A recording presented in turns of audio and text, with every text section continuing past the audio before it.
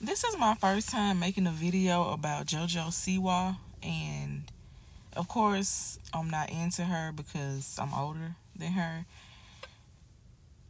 But it was it, I can't lie, it was disturbing seeing rainbows and glitter. And now I'm seeing black and in metal. And and this morning I watched a video about how she stole somebody's song and then she she trying to drop another song and she stole that one.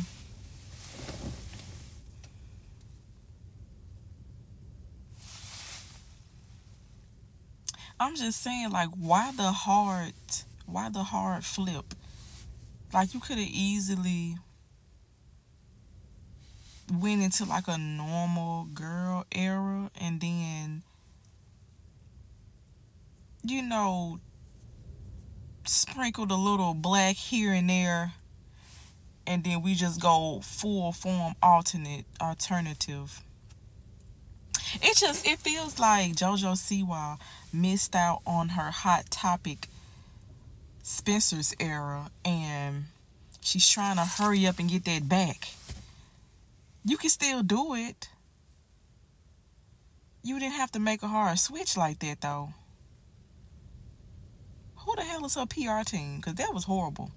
And then all this other PR. And now you crying in a Lamborghini.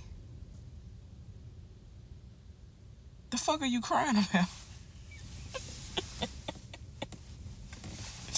Whoever gave JoJo Siwa that song, they knew in their heart of hearts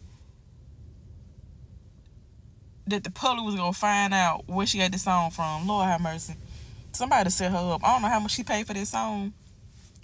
They made bank off of her.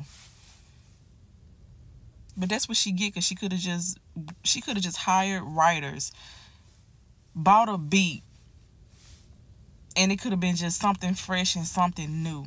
Now let me let me take my ass to work. Fuck this.